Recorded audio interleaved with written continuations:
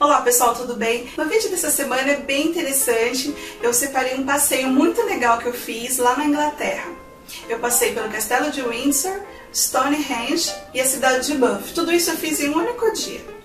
E nesse vídeo eu vou passar dicas de lugares, preços, para que você possa se inspirar e planejar também a sua próxima viagem.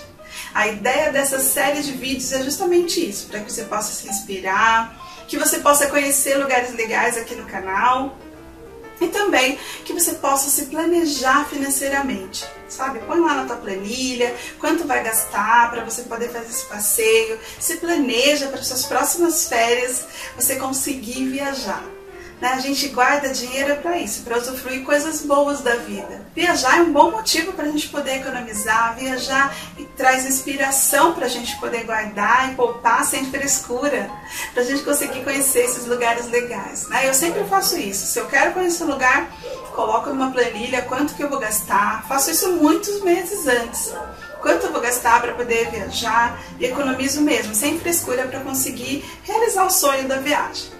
Então espero que você se inspire em mim, nos lugares e também que você conheça bastante os lugares que eu vou mostrar. Espero que você goste. Se você gostar, deixe seu curtir no final, isso me ajuda bastante na divulgação.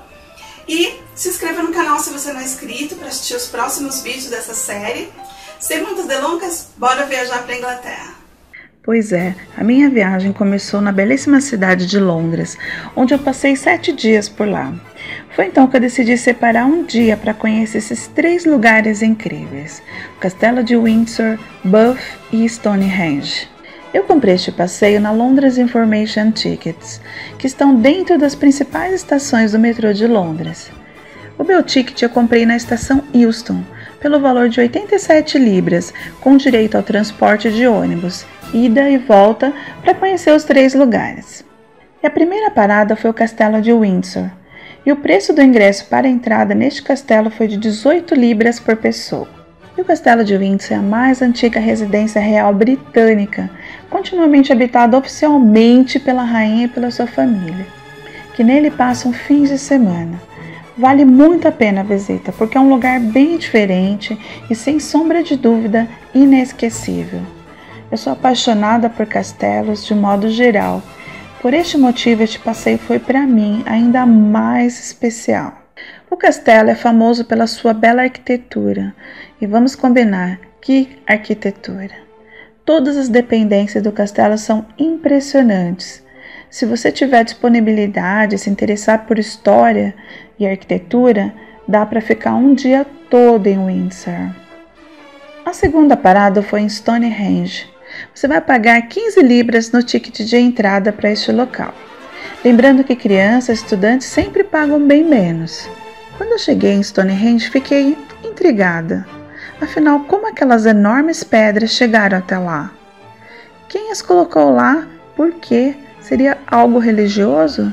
Seria algo científico? Bom, até onde eu sei, há muitas especulações, mas ninguém tem as respostas. Erguida em várias etapas a partir de 3 mil anos antes de Cristo, Stonehenge é um monumento pré-histórico mais famoso da Europa.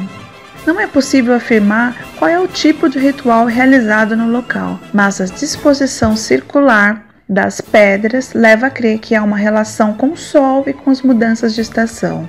A grandiosidade de Stonehenge torna-se mais notável considerando que as ferramentas disponíveis na época eram feitas de pedra, madeira e ossos. Para extrair, transportar e erguer as pedras, provavelmente foi empregada uma numerosa mão de obra. Eu imagino. Stonehenge foi concluída por volta de 1250 anos antes de Cristo. Este passeio é realmente imperdível, gente. É inesquecível. Se você passar por Londres, tem que conhecer esses três lugares. A terceira parada foi em Buff. Eu amo spa. E você? Amo cuidados especiais, como banho, drenagem linfática e massagem relaxante. E ao visitar a cidade de Buff, descobri que estava sendo apresentada ao quê? Ao primeiro spa da Inglaterra. Nossa, adorei! Os romanos transformaram Buff no primeiro spa da Inglaterra, conhecidos como banhos romanos. Pois é, são termas romanas, erguido no século I este conjunto de termas é um dos maiores vestígios da era romana. O ingresso para visitar os banhos romanos é de 15 libras também. Da direita conhecer o Museu de Buff, que mostra como a cidade medieval antes dedicada à produção de lã, transformou-se no século XVIII em um dos spas mais elegantes da Europa. O ponto alto do passeio na cidade de Buff são termas romanas, que são os banhos, e obviamente também a magnífica paisagem. A cidade é pequena. Caminhe por lá calmamente, apreciando sem pressa a magnífica paisagem da cidade. O centro desse tranquilo lugar é hoje repleto de músicos de rua, museus e lojas atraentes. Por apenas um euro você poderá visitar os belos jardins da cidade. E vale muito a pena, porque o próximo aos jardins você conhecerá a Putney Bridge, uma grandiosa ponte de 1774, projetada por Robert Adam. E esta ponte abriga várias lojas no centro da cidade. Nossa, é um passeio imperdível. Aliás, os três lugares são incríveis. Se você passar por Londres, não deixa de comprar esse passeio de um dia por lugares incríveis que a Inglaterra tem.